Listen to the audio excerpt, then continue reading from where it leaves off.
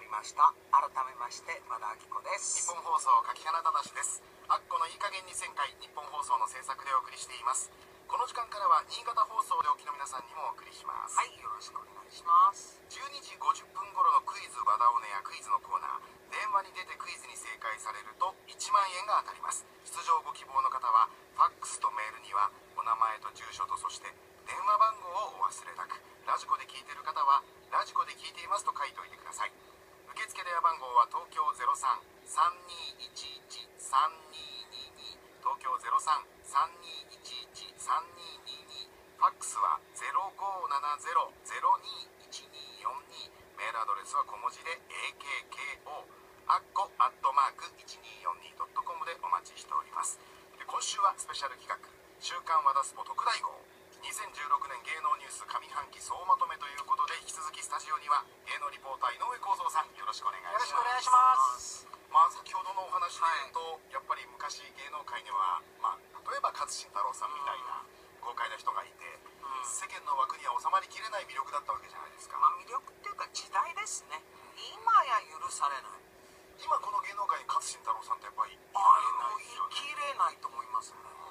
はい、勝新さんとか横山やすしさんとかってあーそう今の時代だとアウトだと思うんですよね、はい。多分多分ダメだと思います。一言で言えば時代。時代です。でもなんか僕らはそこを取材させてもらった人からするとなんかそういう人たちの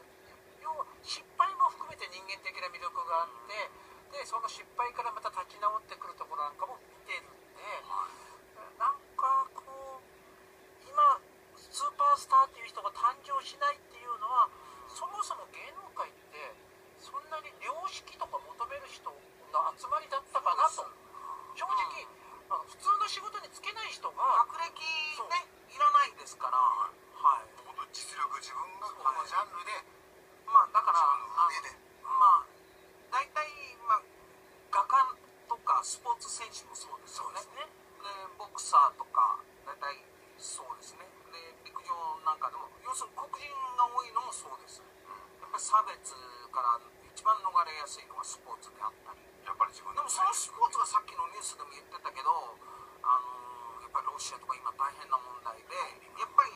なんかやると上に極めたいってのあるからね